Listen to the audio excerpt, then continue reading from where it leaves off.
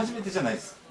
あの5年ぐらい前に大阪にしばらくいて阪神クリーンでで奈良に1回来たんですよ。あの奈良ってあの奈良公園遊びに。はいはいはい。鹿がおるとこね。はい。だから難波難波から近鉄乗って来たのが。4回ね。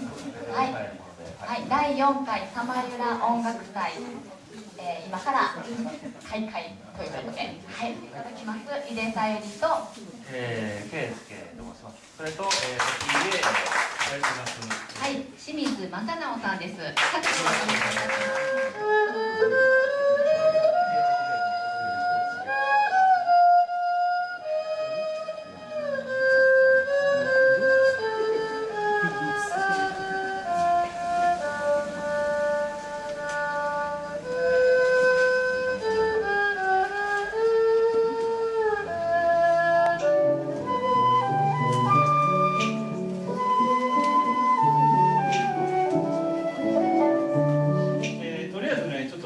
一番だけ、えー、ね、あの、やりましょう。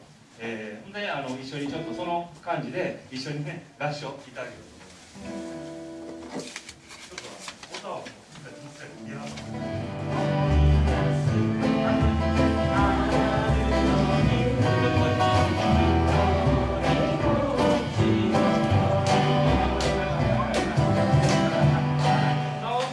オーケーですもう心も乗ってきました。大丈夫です。ほんなら、あの、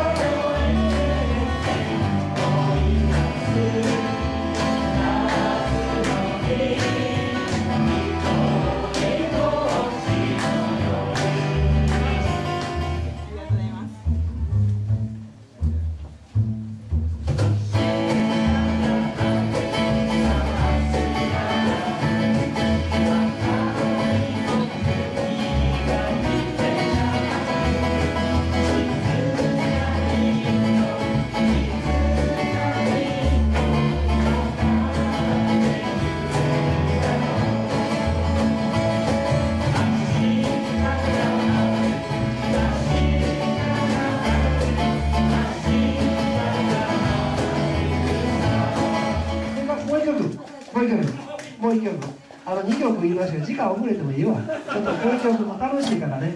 もう1曲言いましょう。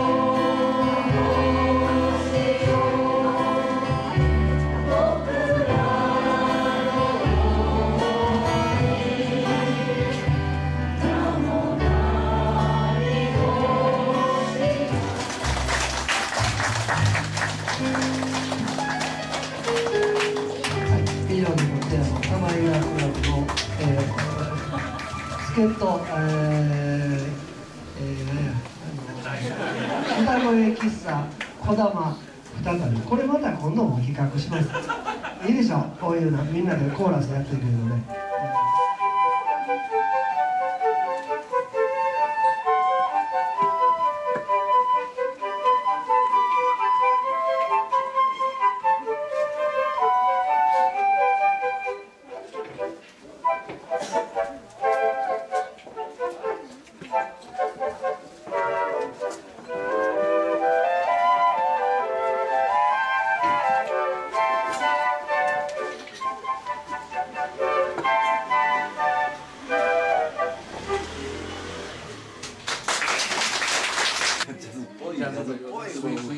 スイングでそうや。音ミュートしてねこうってやるのね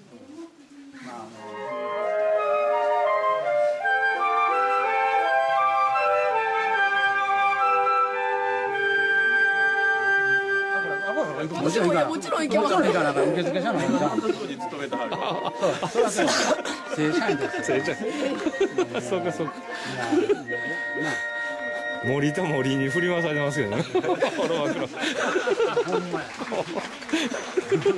それで年間5回ぐらいノルマがあるという。めっちゃ地獄のような。そうで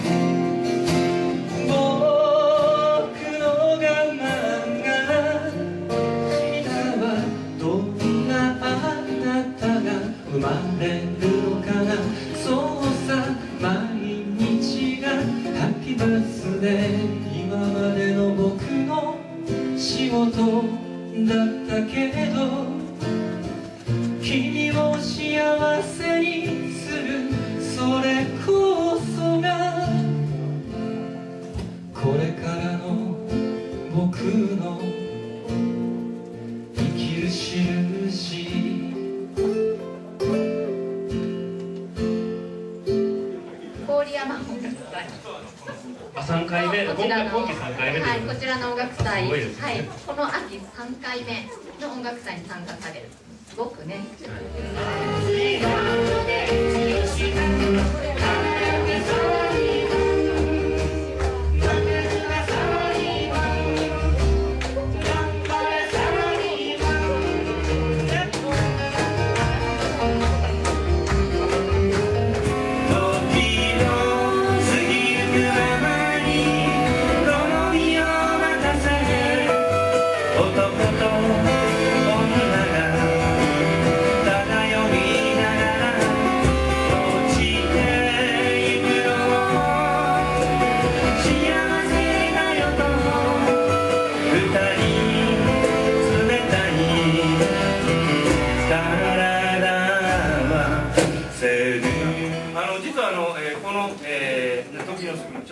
あの先月ねあの10月にあのちょっとまあこれ持ってきたんですがあの奈良100年会館あの NHK のど自慢ね。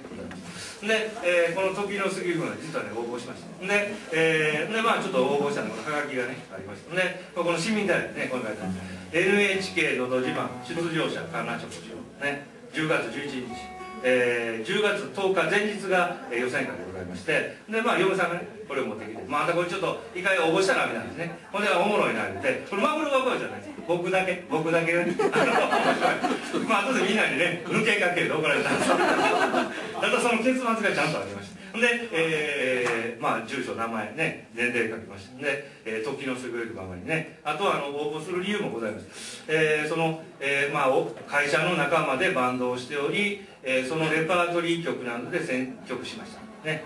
あの昔えー沢、田研二さんの声に似ていると言われて調子に乗って歌ってます。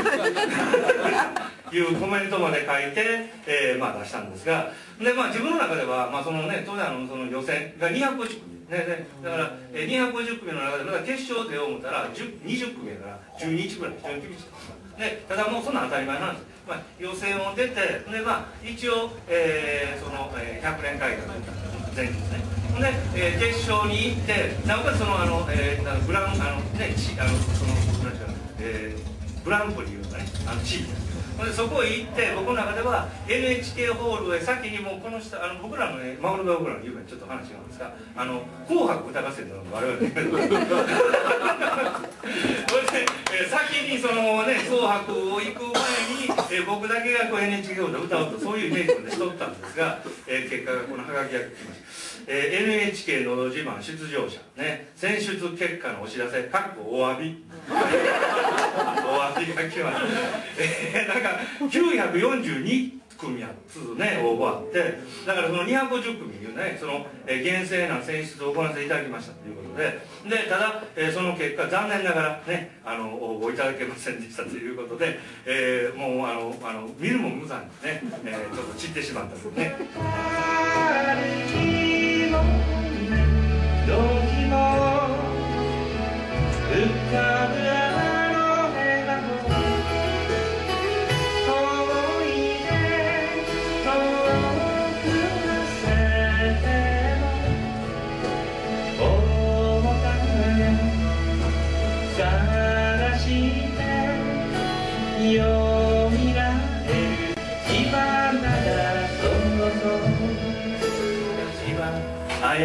震える小さな手を握り故郷の方へ戻る方を必死で探してた。一瞬だった。わずかな時間だった。綾子の手を離したのは。自転車を営む親切な夫婦に競られて暮らしていたらしい。幼い子供が母親からの手紙を胸に持ってあの動乱の一歩を一人で来た苦労は計り知れないものだ綾子は笑顔で幸せな人生だったという私に対する恨みなど一切なかったと言ったえここ座ってもしだけでもそれを背負って私は死にたい本当にありがとう会えてよかった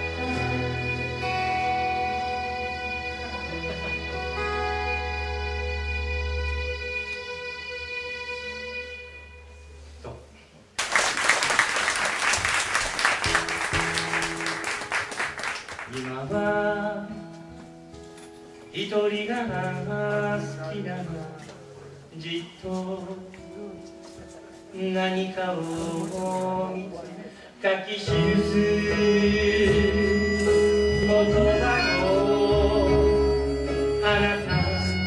あなただけに伝えた。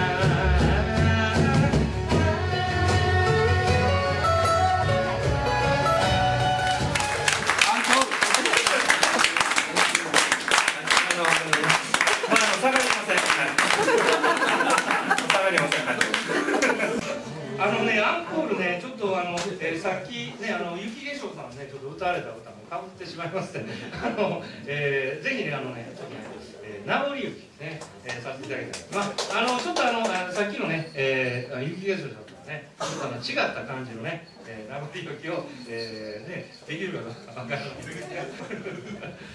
ただ名古屋だけ名古屋だけですよ。名古屋だけになってますんでよろしくお願いします。汽車を待つ君の横で僕は時計を気にしてる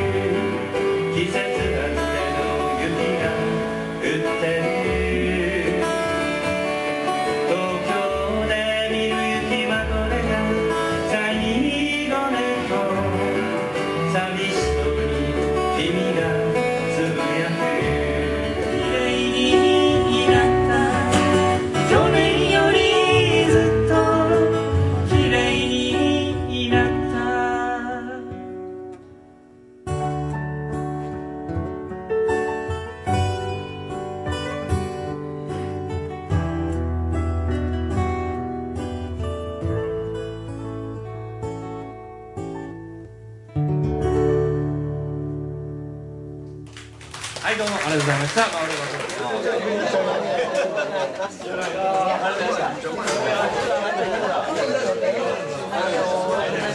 来年の5月オンライン投げす。るんです。よいつもねお坊さんにあがやってきたきたけど俺